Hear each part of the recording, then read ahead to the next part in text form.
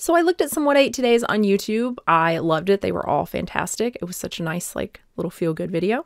And someone suggested I do it on TikTok, and hopefully we will have the same experience. So I just searched what I eat in a day as a vegan. I'm not going to do any. Can you even filter anything on here? So I'm just going to go through the top videos. We have Orim. She made that wonderful, wonderful anti seed oil video. We got a smoothie, mixed berries, ground flax, kombucha. Oh, in a smoothie. Oh, can you taste it? Like, was Oh, no. No.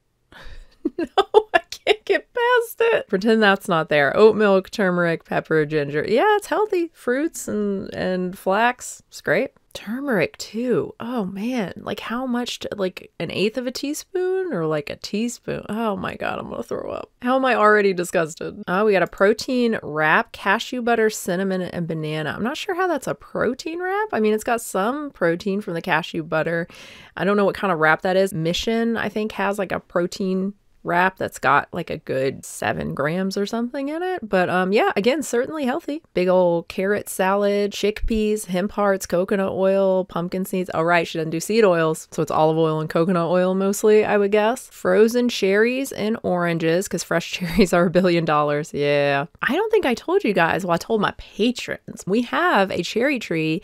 It's a Rainier cherry tree, which are the best cherries. They are so good. And we actually got some cherries this year. We thought, well, partner thought we were going to last year and was all excited. And I kept saying, like, we don't know. Like, yeah, they're growing, but that doesn't mean they're going to ripen and be good. They did not. We got so much rain last year, they just like fell off. It was much better this year. We got so many cherries. I even had partner make a little like cherry picker thing to pick them so we could reach more of them. The crows went nuts, which is so funny because when we bought that tree, it was advertised as like anti crow, like crows don't pick these cherries. okay. They like 80% of the cherries off that tree. Stuffed pepper. This is a lot of different. Is this a day? Oh, yeah, supposed to be a day. Well, I guess the first thing was just a smoothie and a wrap and then a salad for lunch, and then I guess a snack of the fruits and stuff. And then we have the stuffed peppers, brown rice, black beans, mushrooms, tomatoes, broccoli, cilantro, corn, homemade tofu cheese sauce. Oh, nice. Can she really eat all that? That's a lot of food. What is there to say? There's fruit, there's vegetables, there's beans, there's nutritional yeast. It's probably fortified with B12, so she's getting some B12 from that. I think this one uses copyright music, so I'm just going to give you a little play by play. So she has some water,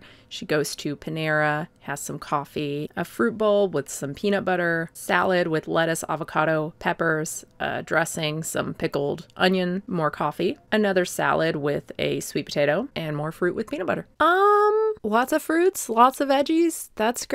Not much protein. She had some peanut butter twice, I guess, in the first fruit bowl and in the second one, but both salads were really just vegetables. So very low in protein, very low in calories overall. This is one of those what I ate todays where I think it can look really, really healthy just because of the amount of fruit and the amount of vegetables, which again is great, but that is really low protein and low calories. No, not great. It's just one day, so if this is not what a typical day looks like for her, if she's normally having like tofu or lentils and chickpeas and stuff, then, you know, that's fine. But she said she's trying to eat less processed foods and more whole foods. And the problem with days like this that are so low in calories and probably not very satisfying is that you run the risk of just jumping back on your previous diet that you're not super thrilled with, right? And eating more processed foods because they're going to be more filling. If she's talking about like the fake meats and stuff. Here's another look at what I eat in a day following a plant based diet. For breakfast, I made a smoothie bowl with bananas, Ooh, strawberries, so peanut butter, and hemp seeds. Really pretty. For lunch, I made this Thai inspired chopped salad. I have a video of this on my page. I also made a matcha this day. Y'all, I'm obsessed with matcha and I love putting chai syrup or chai concentrate in it. So good. I'm never gonna escape the matcha, am I? And then for dinner, because I've been on this eggplant kick, I made eggplant parmesan and I topped it with some vegan pesto. The longer version of this video showing you how I made everything is on my channel. So this one's harder to gauge because it's hard to know like what's in everything. Like is this eggplant dinner just eggplant? And vegan cheese, or does she have some kind of, I don't think she has any vegan meat or anything there. Yeah, this one's a little harder to tell. So I found her YouTube channel. It looks great. She's got a crispy tofu bacon video here. She's got a high protein, what I eat in a week thing here. Yeah, so I think there was like protein in that salad. All right, we got a super skinny lady, which makes me a little bit nervous. I'm not to lie. I've been vegan for over six years, and this is what I eat in a day to feel healthy and strong. I started off with a protein coconut yogurt bowl, which is my new obsession, grabbed a soy latte, and had this delicious roasted veggie salad for lunch. Ooh, what is that? Edamame, Brussels sprouts, spinach. I thought that was like tofu. I think that's potato and some sort of herby kind of thing in the middle. Oh, butterbean dip. It says right there, you dummy. Brekkie and lunch kept me going for a while, so I caught up on some work and did a 40 minute workout. For dinner, I had some leftovers. It was my green pea soup, which is incredible, and the recipe is on my page. And finished off the night with some herbal tea and these insane vegan chocolate bars. Ew, don't squeeze it. Ew, it's like dough donuts. She's always squeezing the donuts. it's so nasty. That looks like another great one. You got a, a yogurt protein bowl with greens powder. Ooh, looks like there's some peanut butter in there. There's some fruit, some hemp seeds, great for omega 3s. Oh, I think the green powder is in the, the drink the drinky stuff. Okay. This edamame salad looks fantastic. Edamame is so great, such a great source of protein and vitamins and minerals as well. It's such a good food. Pea soup. Yeah, I mean, it looks a little low in calories, but it's hard to know, you know, is the pea soup like full of coconut milk or something? It could be actually a pretty high calorie thing. Here's everything I eat in a day as a very active 22 year old who tries to eat as healthy as I can. I woke up and had electrolytes, made my breakfast. I also had aloe juice with an empty stomach, but I forgot to film that. This was my first recipe I ever posted on TikTok, and it's still one of my favorites. Look how good this looks. Frozen wild blueberries, almond milk, one date, almond butter, chips, hemp seeds. Okay, so she's not blending everything. She just puts it all in a bowl. Interesting. And around 10 a.m., I had my coffee at the beach. We were out of espresso this morning, so we had to go to Dunkin' Donuts. I just got a black coffee. After surfing for like two and a half hours, I had my water. I never get to go food. I didn't even have my water this morning. It was a mess. Don't judge. The plastic cup bugs me too, but sometimes you're just a human and you gotta live. Then we ran to the grocery store to buy stuff to make lunch and I had an Olipop. I only like the cream soda flavor and I only really eat these when I'm really craving sugar, like the week before my period right now. Wish I only craved sugar a week before my period. and look at our crunch wraps. My boyfriend looks oh, better Oh, with the not gluten-free tortilla. These were so much fun to make and actually delicious. Corn tortilla, refried beans, guacamole, lettuce, hot sauce. Yeah, sounds good. And I air fried the corn tortillas so they had no seed oils. Oh no. The anti seed oil is affecting everyone. It's not just the carnivore, paleo, keto people, it's the vegans too. When we put everything together, we have a very strong balance of evidence that seed oils in general, unheated seed oils, don't show a clear effect on inflammation across seven or eight different types of seed oils with widely different linoleic acid contents in different doses in sick people, in healthy people. Cooked seed oils, for the most part, also no clear effect on inflammation, even after cooking exclusively with seed oil for months or even years in some cases. When we get to extreme exposures,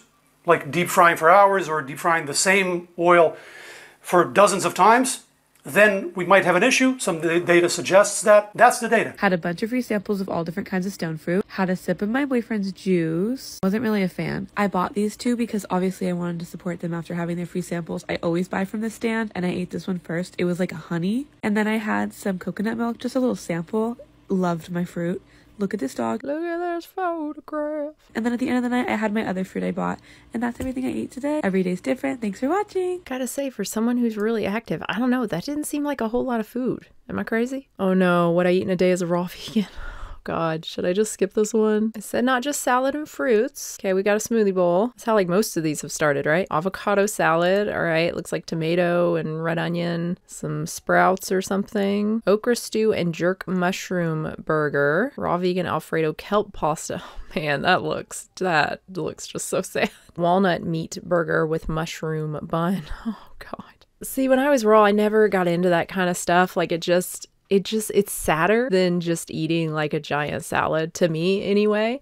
Like when you're trying to recreate a burger or something and it's so far removed from a burger, it's just like not worth it and it often takes so much more time. Whereas vegan, like you can actually make things that are like, "Oh yeah, that's a burger." But a portobello bun with some sort of walnut. No, no, no, no. But hey, very, very healthy. And if you like it, fantastic. Hemp Caesar salad, mushroom cauliflower curry scramble. So she's eating a lot of mushrooms. That's good. If your goal is just to be skinny, it can help you get there, right? Because you're eating just so much water and so much fiber. It's really hard to overeat on raw foods, especially if you're not just like pounding down bananas like some people. But it's also a lot harder to get enough protein unless you're eating a lot of nuts and seeds.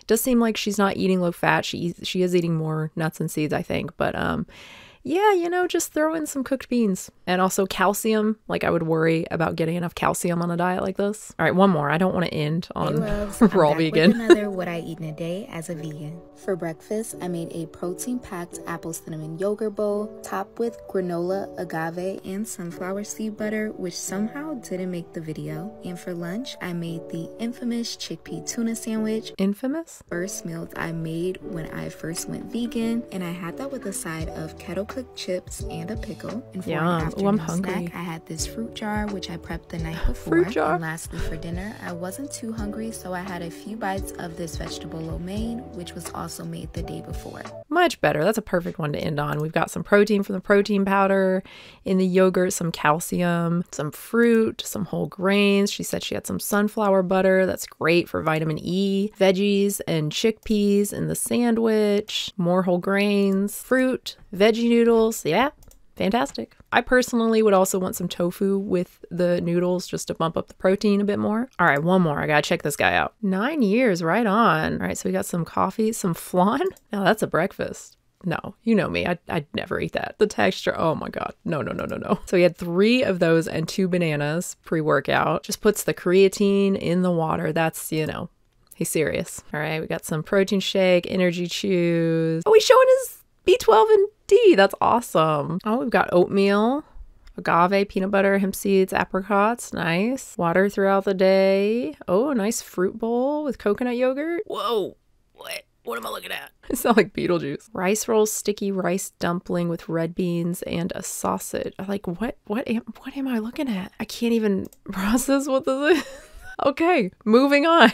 We've got more food egg and cheese quesadilla. All right, that was a great one to end on. And it actually reminds me, I just saw a video from Sports Scientist. He had like a short um, talking about vegan muscles and building muscles on a vegan diet and basically saying, yeah, like plant protein is, it might be a little bit worse than animal protein for hypertrophy, for strength gains, but like barely you know it's it's basically the same. It's like hell yeah.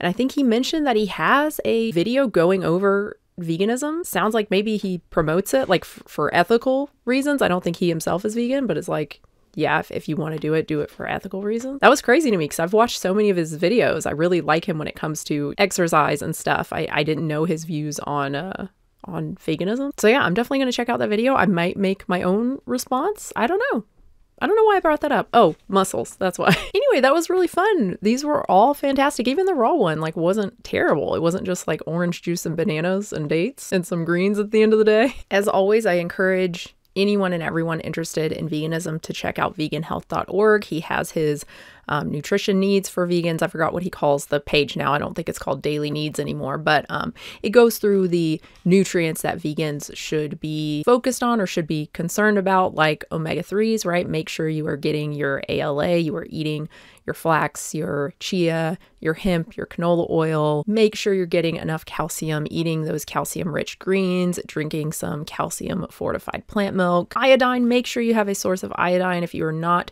using iodized salt or eating certain seaweeds, you know, please consider supplementing with iodine. Maybe your multi has some already. It's, it's something every vegan should be aware of. B12, of course. Vitamin D is one really everyone should be aware of. Many of us do not get enough sun, and we really don't want to get a whole lot of sun, right? If you want to save your skin. Anyway, that's it for me, guys. I really hope you enjoyed this. I would love to know your thoughts. I would love to know if you're familiar with any of these TikTokers, any of these people in their TikToks or their YouTube channels. And of course, like and subscribe. And thank you to all of my members and my patrons at patreon.com slash unnatural vegan. I do post two exclusive videos a month for tier two members and patrons. I post a vlog and I also do a controversial topic towards the end of the month. It sounds like my baby daddy and my baby are back from the store, so it's time for me to wrap up. Thanks again, everybody. New video soon. So interesting, when I searched vegan what I eat in a day, this little like disclaimer came up, you are more than your weight. If you or someone you know has questions about body image, food, or exercise, it is important to know that help is out there and you are not alone. If you feel comfortable, you can confide in someone you trust or check out the resources below. Please remember to take care of yourselves and others. So, I guess if you search for anything diet or weight related, this comes up. I'm not sure how I feel about that, honestly. Like, I guess it's okay. I guess I'm just kind of worried about this bit of an obsession with eating disorders and mental health and the potential it has to convince people who don't really have issues with food or don't really have issues with mental health that they actually do, right? That like everyone should be concerned about this because you all have it. There's a big push in schools, even elementary schools, to promote like mental health days and I don't know. It's it's a bit of a concern for me. This is probably fine though, just to be clear. I'm probably just being dramatic.